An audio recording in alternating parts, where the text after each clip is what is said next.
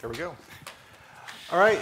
Hello, everyone, and uh, welcome to Chicago. Thank you for making the journey. Uh, my name is Kurt Waechter, and this is my colleague, Wes Couch. Um, first off, I would like to say thank you again to uh, Angie and uh, Raluca for their excellent speeches, and I can't applaud them enough, so can we please give them another round of applause?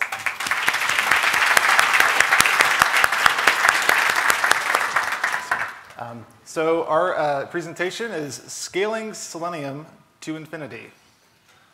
Um, just a summary of what we're going to talk about. Uh, I just want to do a quick recap of test hygiene. I can't uh, say it as well as Angie did, but uh, please uh, use the resources she gave you guys uh, to practice good test hygiene. Uh, and then we'll be going over our goals and challenges with scaling Selenium, um, from brainstorming to the solution we came up with a little bit deeper dive on running tests in AWS Lambda with Selenium, and then some of the lessons we learned after our efforts this, uh, over this last 12 months. Okay, test hygiene, setting yourself up for success. Uh, first, I want to go over what I like to call the battle days, uh, which is a test ice cream cone. So uh, if you look at the bottom of this, these are automated tests in uh, the battle days. And the battle days, you might only release once a year, or you might hope to release next year, and you'll call your product My Product 2018 that you don't release until 2020. Uh, because if you look at the top, most of your uh, functional testing is manually done. And by the time that reaches to a manual test team, uh, they might find some really, really bad bugs that you actually have to really overhaul big components of your uh, application. So that creates the release schedule, makes uh, an impact in the release schedule, and it slows things down. Um, and I'm sure we've all had our share of the battle days, and why we were not going to go back. Uh, and now I'd like to uh, show you uh, the practical test pyramid. And just want to give a quick shout out uh, to the Watirmelon blog that gave me permission to use their images because I think they were really fantastic and I couldn't have done a better job. So please check them out. Um, we all know and love the, the test pyramid. Um, this one, for me, I personally experienced, is a practical way to have one for a really large team and for a really mature product. Uh, if you look at the bottom, we obviously all, I'm sure you've heard, you want to have as many uh, unit tests as possible to, to, give you coverage if it's possible. Um, in the middle, you have various other uh, more complicated tests that will give you coverage for things that you couldn't do unit tests for.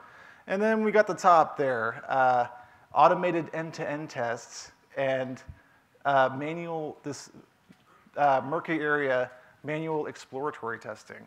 And so um, for, for me to make a practical end-to-end suite, and these are tests that, you know, they're not quick tests. They'll probably take, you know, 20 or 30 seconds to run a user workflow. It might log in, it might generate some backend data first before it even starts, just so a feature can be tested. Um, but then some of those situations we all know are what I like to call rude, some really rude tests. Uh, they're hard to automate or they are not nice to other tests because it changed the state of the system and so you really can't run it in parallel. Um, and so then you really can't trust those tests. So uh, at Blackboard, uh, uh especially through the guidance of uh, Ashley Hunsberger, uh, come up with the term happy path. So we want as many of our E2E tests to be happy path tests. And if they're not happy path tests, you should have a conversation about why. Um, this is a happy path. It's very basic. Step one, two, three. It should work and stop. It should be very easy to understand how, how this test works. Um, happy paths tests, uh, end-to-end tests, make good neighbors. Uh, they get along with other tests and they're short and sweet. Uh, they shouldn't take any more than a minute. If it takes more than a minute, uh, that is probably a bigger problem. Non-happy path tests, they're rude to other tests. They take a long time. Um, they need to go to charm school. uh, goals and challenges that we've had uh, during this scaling endeavor. So we uh, had a lot of uh, focus on organizational problems with our development team in the past, and we made a lot of great progress, and we were kind of ready for the next thing, like let's run it faster. Mm-hmm. Uh, we wanted to give faster feedback to the team when they're running. Uh, they, you know, we run a full regression on every commit of every feature branch for over 100 developers worldwide, 24 hours a day. It's kind of that's a lot to ask for. Um, it was our we really wanted to with all that many people working, uh, you know, making uh, faster feedback. It's uh, exponential velocity for us. It's like a force multiplier. It's like if we can just save people time you know, we would really impact, have a big impact on the quality of the product. Um, infrastructure as code. Um, I don't like babysitting servers, and I would like to get out of the business of doing that. So if there's anything I can do to make our test infrastructure easier to maintain, you know, I'm all for it. Um, I've had the pleasure of using some really great software products at Sauce Labs uh, that have videos that I love, and I really uh, I, it's like once you have the videos, it's really hard to go back. Like I, I can't. Uh, it's you know when you see when I'm working and I see people that have videos, I'm just like, if you just had the video, we would save like three days of this troubleshooting. Uh, and lots of great logs. Um, I love all. You know, the more the merrier. Sometimes that's really hard to uh, implement, depending on your test infrastructure, and you end up getting you know babysitting servers just to get better logs, and you know it's it's a lot of overhead. And of course, the, uh, uh, you know, the unachievable dream, at least for us, it always seemed like, how can we get everything to run all at once in parallel? Make it so fast that, you know, we don't have to worry about this anymore. Like it's, that'll solve all our problems, right? And then, uh, like I said, I was covering some of the challenges. It was just, uh, we wanted speed, lots of people, and it's a really complex product. And uh, now I'd like to hand off to Wes. He's going to talk about uh, how we brainstormed it and uh, how we implemented our scaling solution. Thanks. Um, so while we were brainstorming these challenges and the solutions to them, um, we were kind of working through the notion of, you know, we've got our Selenium grids, we're using uh, containerized services, we're getting to a parallel point um, where we're running pretty quick, but like we want to take that next step, and we're, we're always looking for that next step. And we we felt like we kind of exhausted our um, solutions for that. Um, and we had some experience in the past with AWS Lambda. And um, kind of, if you get to the root of what it really is, um, it's basically just a container. Um, it's a very opinionized container, and uh, you run under a strict set of guidelines when you're in that container. Um, but if you know what the guidelines are, you can also kind of take advantage of them, which is where we saw um, the ability to jump in there. So, why would you even want to run Selenium tests in Lambda? Well, Parallel execution is virtually unlimited no additional cost. If you ask Amazon for more servers, they'll give them to you. Um, you don't have to manage the scaling. Um, they start you off with 1,000 concurrent Lambda sessions. We bumped ours up to 16,000, just in case. You know, you never know when you need to run 16,000 tests at the same time. Um, working on it. um, and it's also lower maintenance. We didn't want to have to manage the Selenium grid, like uh, Kurt was mentioning. And uh, we really want to keep all of our infrastructure as code. We don't want to manage the scaling, um, which is a common issue when you get to Selenium grids because you have to manage um, all the scaling. Um, so for our first iteration, uh, we ran into Marco Lüthy's uh, article where he ran headless Chrome in Lambda. And that was a big first step uh, because being able to run any type of UI automation in Lambda um, had never been done before. And we kind of saw the path align um, where we might be able to use Selenium with that as well. So we took his build of Chrome, which was a highly specialized build of Chrome, um, and we took Selenium and packaged it with it, and we were able to run Selenium tests in AWS Lambda with that headless Chrome. Um, if you've ever used headless Chrome versus a full browser uh, Selenium test, um, there are some limitations that come with that. And unfortunately, uh, those limitations were enough to make it so that we couldn't use that version of Selenium and Chrome together because we needed those things like browser alerts um, and as well as iframes, which um, our product is heavy in both of those things. So we, we knew that um, we needed to get to a full browser. Um, we saw that it was kind of possible and there might be a path towards it, so we went for it. Um, and we had to ask ourselves the question, how do you run a full browser in AWS Lambda? So the first thing you got to start with, if you've ever used uh, Docker Selenium, you got to start with a screen. Um, we use XVFB for that, and that is X Virtual Frame Buffer. And it, this is used in the Docker version of Selenium Grid. And basically what it does is it simulates a video device and it has a place for you to send all your frames to.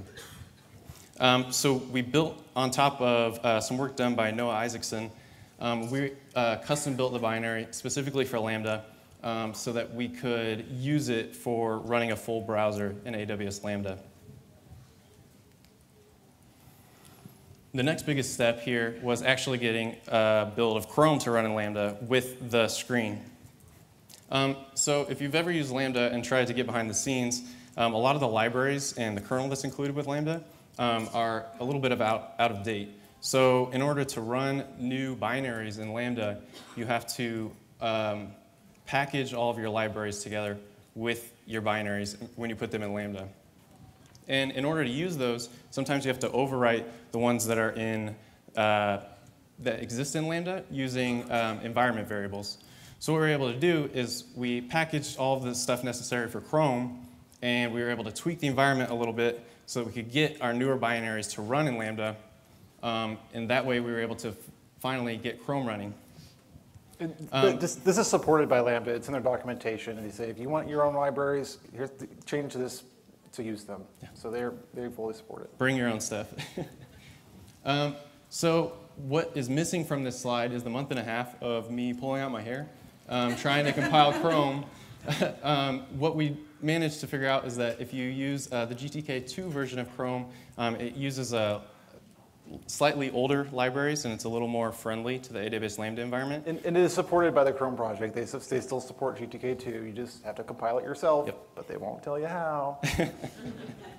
but that's fine. We, we handled that. So now we have this full version of Chrome. We've got it running on AWS Lambda. Um, what's the next step from there? So another limit of AWS Lambda, remember, you got to play by the rules when you're in the AWS Lambda environment. And one of the rules is that you have to limit your deployment size to 250 megabytes. And if you've ever had a testing project, you know that your dependencies can kind of get out of hand sometimes. And there was no way that we were going to fit Chrome and XVFB and then all of our dependencies for our Java test code in that same package. It so, makes you regret pulling in 10 different assertion libraries. so to tackle that, we wanted to keep our footprint small and wanted to do anything that we could um, to reduce that deployment package size. And if you're using AWS Lambda, there's uh, three gigabytes of memory that you can use, and there's also a temp working directory that's writable that you can uh, pull in files up to 500 megabytes. So we decided to offload um, some of that space into that temp directory to be able to pull in a lot more code than would normally be allowed. So what we do is we package up Chrome and XV, XVFB with all their libraries and everything into some tars, put that in S3, and then as soon as the Lambda function starts, it pulls all that code down from S3, unzips it into the temp directory, and then there you can start and run them from there. And, uh, because you're on uh, Amazon's backbone, it, it's pretty much instant. And uh, I, you know, at first I'm like, oh, that sounds expensive, but it's like, you know, after a million S3 gets, it's like a penny or something. so Um, another advantage that we pulled off here, um, if you, so we have this memory available as well. So when we do the pull from S3, we actually hold those files in memory. We do a little bit of cleanup, which I'll get to later, um, before we actually run a test. So we're able to kind of wipe the entire uh, temp directory before we start a test. And then we just have, we have S3, or we have XVFB and Chrome in memory. We just write it back, and we don't have to download it from S3 again. So your next execution is going to be a lot faster than the first one, um, which is an advantage. And that leads us to debugging. Alrighty, that was uh, hinting at earlier. Um, it's great to have videos. Um, so one of our goals going into this is like, if I had a full browser, I could have videos. And it's, it's really hard, hard, hard to make that happen. Uh, this is why um, products uh, like Sauce Labs are so great because you don't have to worry about that. Um, but trying to implement this ourselves, uh, in the past, when we're running Selenium grids, uh, when we have nodes that share test sessions, so you've got more than one test running at a time, you really, if you record a video of, uh, of everything, you're gonna see like three tests running, and like you just hope that your window's in the front of the other ones. Uh, so, you know, that's got limited utility, so it's kind of rolling the dice. Um, so uh, we would have to, there's, you know, you have to be pretty disciplined about how you would set up your Selenium grid if you were able to record videos. Um, but with Lambda, since we're running tests, they're all isolated, and we're not running more than one test in one Lambda execution since uh, we're not penalized for consuming parallel nodes, uh, then it made this a lot easier. So uh, artifacts such as videos or logs, Chrome driver logs, Chrome logs, uh, they're a lot easier to come by, and you know they're a lot more insightful. Sometimes there's some nasty Chrome bugs that you only see in the Chrome driver log. Uh, and that way you don't have to stop blaming yourself for ruining the test when it was Chrome's fault, and you can prove it. Or, you know, sometimes it's our fault. So logs, uh, standard out. So uh, on top of any test artifacts you leave, the standard output of your actual uh, Lambda execution is automatically captured transparently uh, through the CloudWatch service. And uh, well, we capture these in our test framework but, um, and, and make links, but the session IDs and all the logging information is fully searchable in CloudWatch. So anytime there's something that's gone awry or a bug with our Lambda mm-hmm. you know, implementation, we can still find out. Um, so it's not, it's not like it just goes you know, into dev null, but it's there, and you don't really have to think about it. Uh, log retention, it'll delete them for you. Um, so having this isolated execution, for us, it's, it's like this holy grail of troubleshooting information that it's just, especially with really big test suites and really big teams, it's hard to maintain because you're babysitting servers, babysitting file shares, oh, it filled up, it crashed a test. And as soon as something breaks, you know, you actually have a finger to point at like what actually went wrong. It's not just like who's who. Yeah, and there's, you know, of course, there's always a person in the room that throws out a red herring of like, you know, what caused the issue. But if you have nothing, like the burden of proof is always on the testing folks. And if you don't have proof, then no one's going to believe you. And then, of course, it is, it's so easy to derail uh, credibility or to, uh, to like erode trust in your test suites and, and the whole point of your going about it. Um, this is an example of what the standard out looks in CloudWatch. The, the standard output appears to be in CloudWatch. Like, uh, I mean, this, you can do it for a specific test, or if you just want to search everything for a certain like string, that maybe uh, something crashed and you, you know what it looks like, you still got it there. Um, okay, now uh, I would like to reveal to you folks uh, something called Allure Reports. Um, we are a big fan of this reporting platform. There is a team uh, based out of Russia uh, under the organization Qameta that has done just an outstanding job on this reporting engine. They make it work with every test framework. They every, make us look so good. We don't have to. Yeah, it's beautiful. I mean, yeah. it accommodates any situation. Uh, you move. I, we've got uh, Protractor, we got JUnit, Ruby, Python. We they all work with it really well, and it doesn't matter uh, the methodology you use. It's it's very cleverly laid out, so it can accommodate just about any type of approach you use, um, and it's uh, responsive layout, it works beautiful on an iPad, it works great on any browser. Um, they have very exhaustive tests for it. Uh, if you have, you know, if you use the JUnit format, it uh, natively imports them all. So you can make your JUnit, you know, 10,000 JUnit files. It will reinterpret them into a nice format like this. And so you can, uh, you know, feel confident about showing this to somebody and that it uh, organizes it. And this is an example of uh, some of our uh, our tests for actual Lambda service itself, we we're very big advocates of our test frameworks, code is code. We test all of our test code. And we are very adamant about being confident about things that we write uh, for developers for the frameworks so that if, you know, they want to question the quality, I can show them the test suite that ran and everything's working. So it's not us, it's you.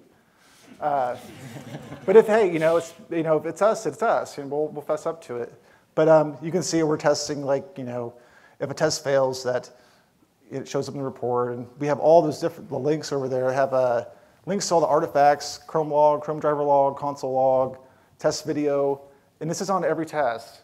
So just being able to send somebody a URL to the test case failure with the stack trace and everything, you know, in a Slack chat, is really nice. It really saves a lot of uh, discussion and back and forth. Yep. Um, so this is another feature of the Allure reports. This is the uh, timeline view, um, and it's actually cut off.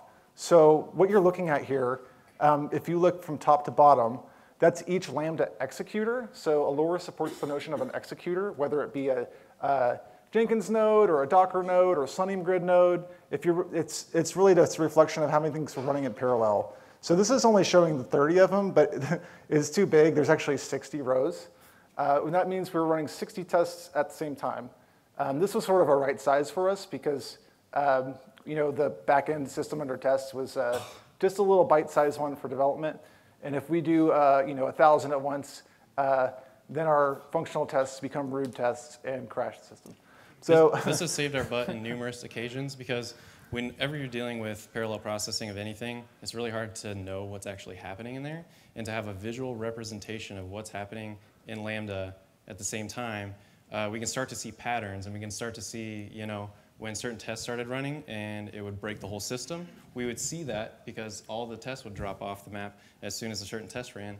Um, it made it really easy to identify parallel issues um, and also tests that weren't performing in the way that they well, should we, we thought we had uh, happy path tests, but there were rude tests lurking in there. Um, and now uh, talk about a little bit deeper about running tests in Lambda.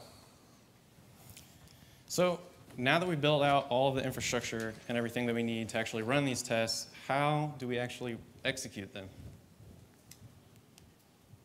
So what we built is um, a Java test framework built on JUnit. Um, and what it does is this framework handles everything. It, it's an all-in-one piece of equipment. Um, this test framework, it deploys itself into Lambda, Lambda uh, during the execution of the tests. Um, it's calling the Lambda function that it deployed. Um, it cleans up after itself, and then it's handling all of its own reporting. We kind of wanted to have a one-stop shop and all of our infrastructure be in this test framework, um, which really enables us to move faster and make changes a lot easier. Um, what we're looking at here is this is actually what happens when we start our test run. So first, uh, we compile an uberjar. And if you aren't familiar with an uberjar, this is uh, your code plus all the dependencies um, into a single jar. Um, and what that does is you can place it anywhere, um, and you can run it anywhere. Jar is this uh, Java lingo for a zip file. Um, so then once you have that all together, the test runner starts.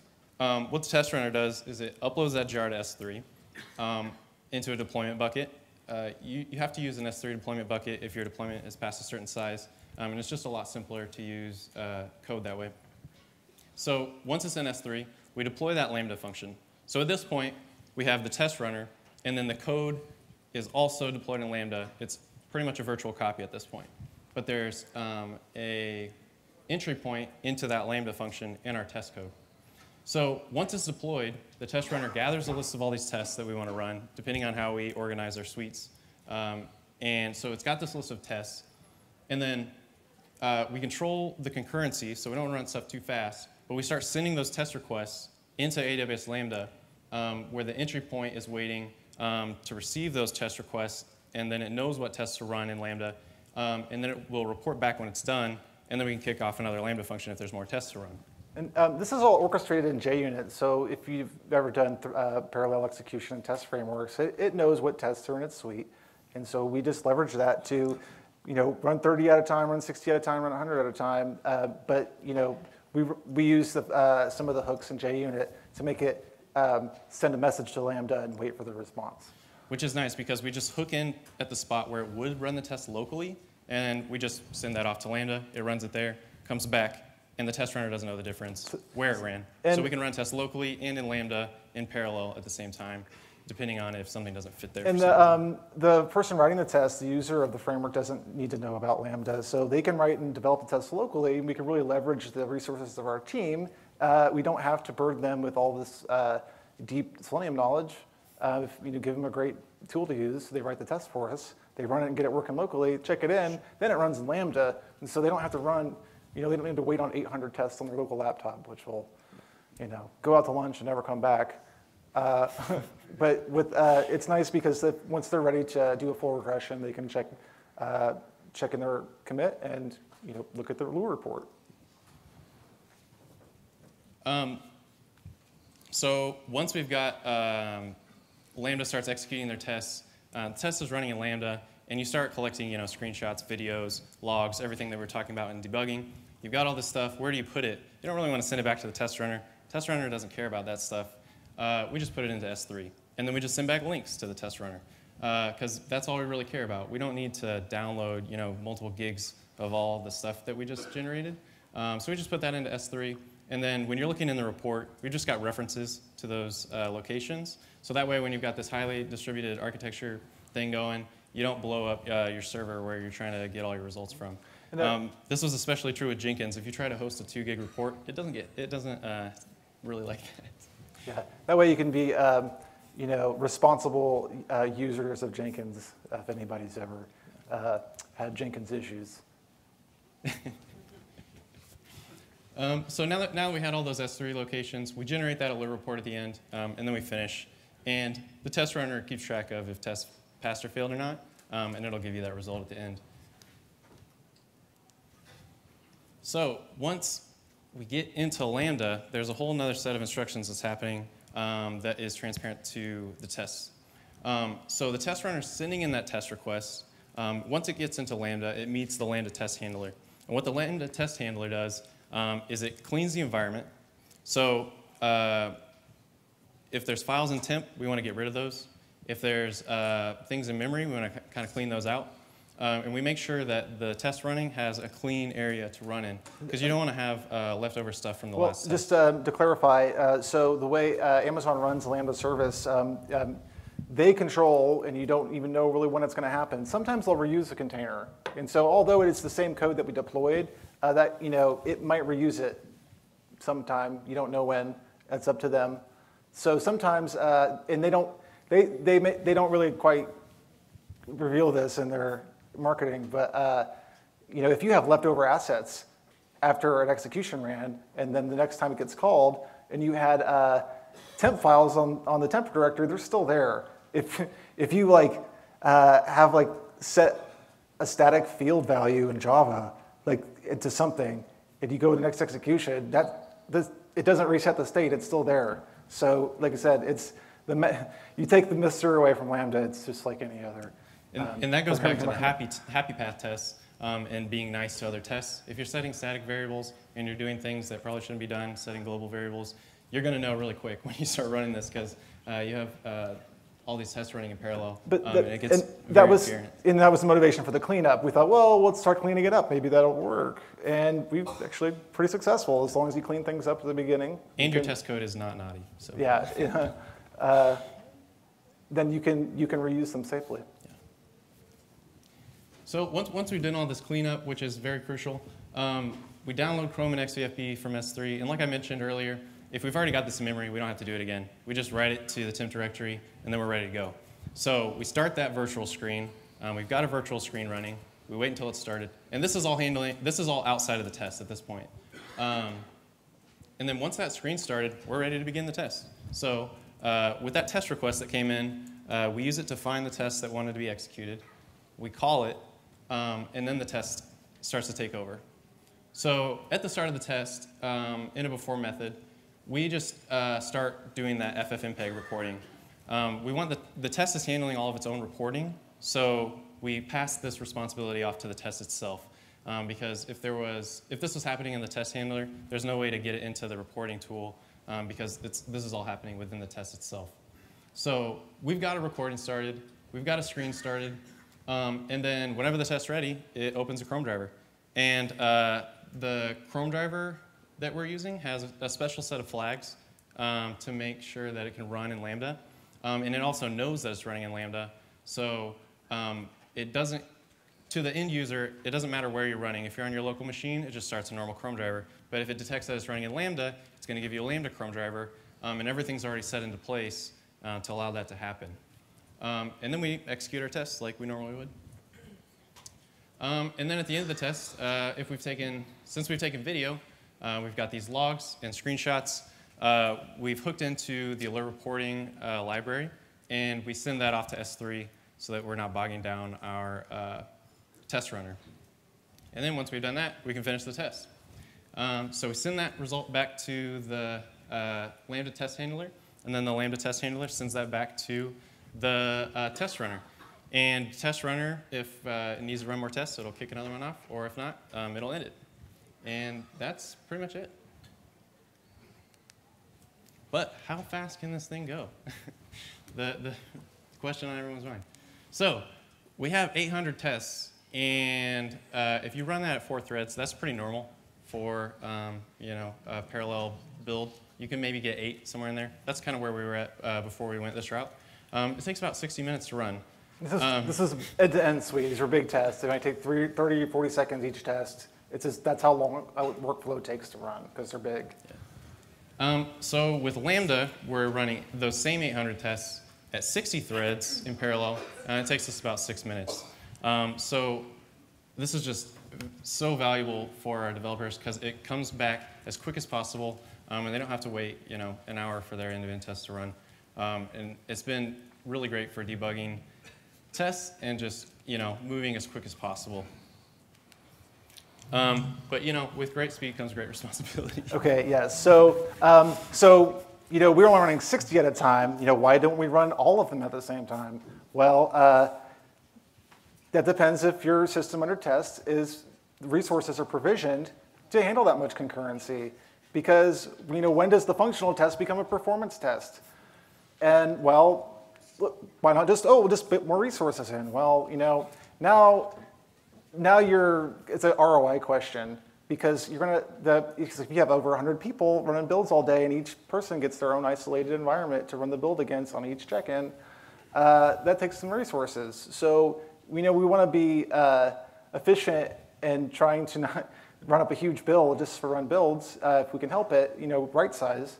So uh, if six minutes gives us fa- really fast feedback and it's still very economical, but to run it all in one minute uh, is going to, you know, be an extra, you know, thousands and thousands of dollars a month just to get that extra couple five minutes. Are they running any more builds that day? Did that, did that extra five minutes saved, six versus one, actually contribute that much to productivity at that point?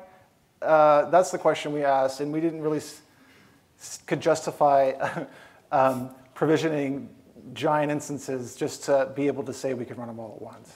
So while the speed is there when you need it, um, for example, like if you are using it for a performance test, well, you are in luck because this will help you. Um, but for functional testing, we, you know, you want the system under test to be stable to actually test the workflows and use uh, performance testing should be its own separate effort because it has a completely different set of considerations. And um, just some lessons we learned. Uh, we had a lot of, uh, we were wondering what would happen uh, when we would be able to run this fast since it, you know, we spent years trying to get to this point, uh, speeding up suites and things. And um, it was a little anticlimactic. Um, there isn't a magic switch that you can throw to solve all of your testing and quality problems. Uh, making quality software is very hard. Um, that's why we're all here and doing this. If it was that easy, uh, there wouldn't be so many crap applications in the world. scaling is possible, but you must follow best practices. Listen to Angie. Uh, she knows what she's talking about. Um, if you're not if you're not covering all your bases uh, with just like test hygiene and writing a good suite, and if you got organizational issues, and you know that's where you need to focus your efforts first. Parallelizing tests is great, but it's not helpful if you have organizational problems around your test suite, or if you um, don't have control of your test suite, or you know, so many people at this conference have a lot of things to say about that, and it can't, I can't like uh, bolster that enough. You need to follow best practices. If um, you got a big team and you want it to be more effective, that's where you should put your focus first. And then once you once you reach that maturity, then you can get the benefits of scaling the suite further, making things faster, increasing velocity. Um, this the whole concept of continuous delivery and software as a service and releasing often, and stop uh, naming your products with the year. Um, so you don't, you know, my product 2018 released in 2020. Uh, this is this is sort of like a mature end to that is increasing the velocity. So we release now, you, you know, in weeks and months at a time. We make release candidates all the time. We used to release in like a year, and it was because we had an ice cream cone and we needed a pyramid. Uh, and then one funny thing is uh, running faster only kind of uncovered our, some of the problems that were lurking. We, we took the uh, culture push as, as far as was practical and felt like we could now benefit from speed. But um, you know, human eyes are only so effective, and if we don't, this running faster gave us a lot of insight into the health of our suite since we had so many people contributing all the time and had a very large amount of tests. Uh, it was hard to like really see when we had rude tests. And then, you know, having things show up in a little report, we have a nice, nice metrics. Uh, we were able to get rid of the root tests, and then we got a great happy path suite. And so now people actually test, trust the test results. When they see red, they're like, oh, it's a product defect. We got rid of all of our root tests. We're confident about these tests. If a test breaks or it goes broken or goes bad, then we, then we can easily see that. And it happens occasionally, like once in a blue moon. It's not happening on every build. So, because when you have untrustworthy test suite, it's the same as not having testing at all, because no one's really paying attention to them. And, and then that's extremely embarrassing because you spend so much time making it and the bug still got out. So um, that was kind of our lessons learned. I know it wasn't, uh, I wish it was, I wish it was uh, solving all of your problems, but um, it definitely gave us, let us reach a new height, but um, kind of really just expose what we already knew. Keep doing what you're doing and following best practices. Um, and just to uh, circle back around with some shout outs, Allure reports, um, please uh, Google them and check them out. You will not regret it. And um, we get so many compliments from people on our team about the reports, like, hey, we love this new report. Like, oh, it's not ours, but, um, but uh, it's, it makes life easier. Um, Marco Lüthy, I hope I'm saying that right. Um, he is a hero. Uh, he spent a lot of his own time uh, working with the Chrome team, working out bugs, figuring out things, building Chrome on his laptop, which takes a day, uh, for many months, to kind of get that core groundwork laid and um, really get people excited about running it on Lambda. Um, Alister Scott, um, for his helpful test pyramid images. Um, he's actually got a great blog, uh, so check it out. Uh, Noah Isaacson for his uh, work on XVFB on Lambda. And um, also wanted to give you guys uh, just a heads up um, about how to make tests less rude. Um, Jane Waldrip, our colleague at Blackboard, will be presenting tomorrow on three ways not to use Selenium. So if you have the time, please check it out. Um, we do have a GitHub. We uh, published examples of how you could go about it. Um, this currently is showing uh, where we started a year ago during our brainstorming phase, and we are going to go ahead and flip on um, what we've worked on since then. So you'll get to see uh, the difference Big and how one way to use it. Um, we're not saying this is this is like the way everyone should use it. In fact, I think there's we think that this should be a component of things that are already out there, really great projects. It's not replacing anything. I think it's just kind of complementing what's there. It's not, it's not a game changer. Don't, don't throw it all away and switch to our GitHub. It's not what we're advocating. It's just a, it's an example, just so you can have a relevant something to look at and, and learn from it. It's just a learning tool. Um, we, uh, you know, the open, open source projects are amazing, and when you got a big community around something, I don't think, you know, I don't think you should advocate getting rid of a community if it's, it's solving a good problem. And uh, if you have questions, um, we actually have plenty of things to show you, live demos and, uh, and whatnot. I just you know, wanted to spare, spare you guys from our demos messing up, because of course it'll happen for us if we did it here. But um, we have office hours at 1.30. Um, please, if you see us, uh, just ask questions. We love, love to uh, we'll try to answer your questions. Thank you. Enjoy lunch.